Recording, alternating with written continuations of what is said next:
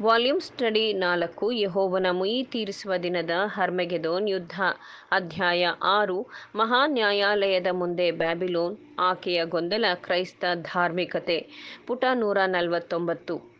ನಾನು ನಿಮಗೆ ಬ್ಯಾಸ್ಟರಸ್ ತೀರದಿಂದ ಒಂದು ತತ್ವಶಾಸ್ತ್ರವನ್ನು ಮತ್ತು ಕಾನ್ಸ್ಟೆಂಟೈನ್ ನಗರದಿಂದ ಒಂದು ಧರ್ಮವನ್ನು ತರುತ್ತೇನೆ. ಕಳೆದ ಹಲವು ವರ್ಷಗಳಿಂದ ನನ್ನೊಳಗೆ ಬೆಳೆದು ಬಂದಿರುವ ನನ್ನ ದೃಢ ನಿಶ್ಚಯಗಳು ಮತ್ತು ನಂಬಿಕೆಗಳು ಈ ಪಾರ್ಲಿಮೆಂಟಿನ ಪ್ರಭಾವಕ್ಕೊಳಗಾಗಿ ಅವುಗಳು ಬೇರುಗಳನ್ನು ಅಲುಗಾಡಿಸಿವೆ.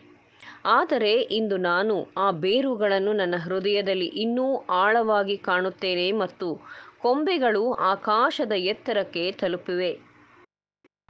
ನಾನು ನಿಮಗೆ ಹೊಸದನ್ನು ತರಬೇಕೆಂದು ಊಹಿಸಲಾರೆ, ಆದರೆ ಮಾನವ ಬುದ್ಧಿವಂತಿಕೆಯು ಒಪ್ಪಿಕೊಳ್ಳಬಹುದಾದ ಪ್ರಮೇಯಗಳಿಂದ ಎಲ್ಲ ಕಡತಗಳು ನಿಮಗೆ ತಾರ್ಕಿಕವೆಂದು ತೋರಿದರೆ, ನೀವು ಪ್ರಾಮಾಣಿಕ ಉದ್ದೇಶಕ್ಕಾಗಿ ನಮಗೆ ಮನ್ನಣೆಯನ್ನು ನೀಡುತ್ತೀರಿ ಮತ್ತು ಬುದ್ಧಿವಂತ ಜೀವಿಗಳಾಗಿ ನಾನು ನಿಮ್ಮ ಮುಂದೆ ಪ್ರಸ್ತುತಪಡಿಸುವುದನ್ನು ಗಟ್ಟಿಯಾಗಿ ಹಿಡಿದುಕೊಳ್ಳುವ ಹಕ್ಕನ್ನು ನಮಗೆ ಅನುಮತಿಸುತ್ತೀರಿ ಎಂದು ನನಗೆ ವಿಶ್ವಾಸವಿದೆ.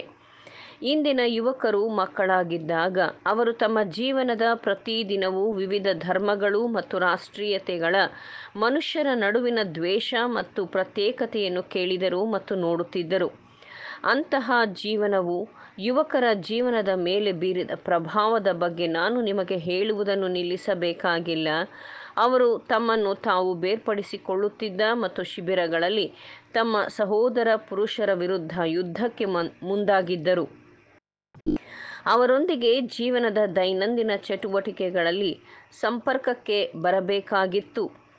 ಈ ಶತಮಾನದ ಉತ್ತರಾರ್ಧದೊಳಗೆ ಶಿಕ್ಷಣ ಮತ್ತು ಸ್ವತಂತ್ರದ ಕಲ್ಪನೆಗಳ ಬೆಳಕು ಇಡೀ ಪೌರಾತ್ಯದಲ್ಲಿ ಹರಡಲು ಪ್ರಾರಂಭಿಸಿದಾಗ, ಈ ನೊಗವು ಪೌರಾತ್ಯದ ಯುವಕರ ಕುತ್ತಿಗೆಯ ಮೇಲೆ ಹೆಚ್ಚು ಭಯಾನಕವಾಯಿತು ಮತ್ತು ಭಾರವನ್ನು ಹೊರಲು ತುಂಬ ಭಾರವಾಯಿತು. ನಾನು ಪ್ರಸ್ತಾಪಿಸಿದ ಎಲ್ಲ ರಾಷ್ಟ್ರೀಯತೆಗಳ ಯುವಕರು ಕಳೆದ ಮೂವತ್ತು ವರ್ಷಗಳಿಂದ ಪ್ಯಾರಿಸ್, ಹೈಡನ್ಬರ್ಗ್, ಬರ್ಲಿನ್ ಮತ್ತು ಯುರೋಪಿನ ಇತರ ನಗರಗಳ ವಿಶ್ವವಿದ್ಯಾಲಯಗಳಲ್ಲಿ ಮತ್ತು ಕಾನ್ಸ್ಟ್ಯಾಂಟಿನೋಪಲ್ ಇಂಪೀರಿಯಲ್ ಲೈಸಿಯಂನಲ್ಲಿ ತಮ್ಮ ಶಿಕ್ಷಣವನ್ನು ಪ್ರಜ್ಞಾಪೂರ್ವಕವಾಗಿ ಅಥವಾ ಅರಿವಿಲ್ಲದೆ ಪಡೆದಿದ್ದಾರೆ. ನಿಷ್ಕ್ರಿಯವಾಗಿ ಅಥವಾ ಆಕ್ರಮಣಪೂರ್ವಕವಾಗಿ ಅವರ ಧರ್ಮದ ಬಟ್ಟೆಯನ್ನು ನೇಯ್ಗೆ ಮಾಡುವುದಾಗಿತ್ತು. ಇದರಿಂದ ಅವರ ಧ್ವನಿಯು ದೈವವಾಣಿಯ ಕ್ಷೇತ್ರವಾಗಿ ಸಾವಿರಾರು ಯುವಕರಿಗೆ ಅದು ವರವಾಗಿ ಬಂದು ಅವರ ಹೃದಯ ಮತ್ತು ಮನಸ್ಸನ್ನು ಸೇರಿದೆ. ಯುರೋಪಿನ ನಾಗರಿಕತೆಯು ಕನಿಷ್ಠ ಪ್ರವೇಶವನ್ನು ಕಂಡುಕೊಂಡಿರುವ ಪೌರಾತ್ಯದ ಎಲ್ಲ ನಗರಗಳಲ್ಲಿ ಅವರು ತಮ್ಮ ಸಹೋದರರನ್ನು ಹೆಚ್ಚಿನ ಸಂಖ್ಯೆಯಲ್ಲಿ ಕಾಣುತ್ತಾರೆ. ಮತ್ತು ಶತಮಾನದ ಅಂತ್ಯದಲ್ಲಿ ಮೊದಲು ತಮ್ಮ ಪ್ರಭಾವವನ್ನು ಅನುಭವಿಸದ ಯಾವುದೇ ನಗರವಿಲ್ಲ. ಅವರ ಧರ್ಮವು ಎಲ್ಲ ಧರ್ಮಗಳಿಗಿಂತ ಹೊಸದು ಮತ್ತು ನಾನು ಅದನ್ನು ಈ ವೇದಿಕೆಯ ಮೇಲೆ ತರಬಾರದಿತ್ತು, ಏಕೆಂದರೆ ಅದು ಪೂರ್ವ ದೇಶದಲ್ಲಿ ಕಾರ್ಯನಿರ್ವಹಿಸುವ ಅತ್ಯಂತ ಪ್ರಬಲವಾದ ಪ್ರಭಾವಗಳಲ್ಲಿ ಒಂದಾಗಿದೆ.